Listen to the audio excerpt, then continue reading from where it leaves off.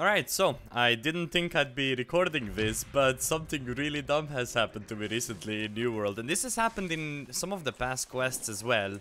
Uh, but whenever there's a quest where you have to like activate some sort of a wave mechanic, for some reason in this game, you just get a bunch of waves going back to back to back. So I'll show you in this situation when I'm doing the quest in Reekwater, how it looks like. As soon as I can find my way to it.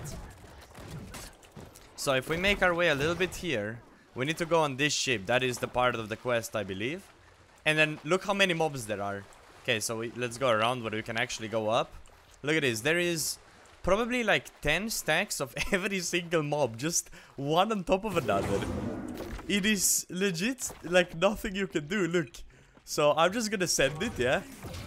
And this time I'm taking hammer because the first time I just couldn't do it. Look at this. what is this? Hello, that's not what it's meant to be doing. This, this just is not it. I don't know who designed this, but something doesn't seem right here. Now, this could be a very solid XP farm, but uh, it can also be a very nice uh, way of dying a lot, so...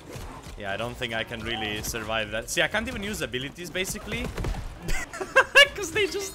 They just kill me, and I die.